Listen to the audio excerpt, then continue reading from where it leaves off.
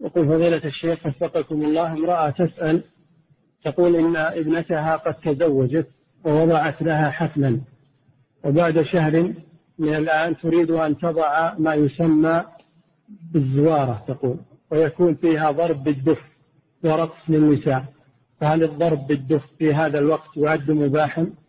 لا ضرب الدف إنما هو ليلة الزفاف لإعلان النكاح أما عمل الدف الزوارة كما يسمونه هذا لا يجوز لأنه فاتت مناسبته التي شرع من أجلها وهي إعلان النكاح ليلة الزفاف. نعم.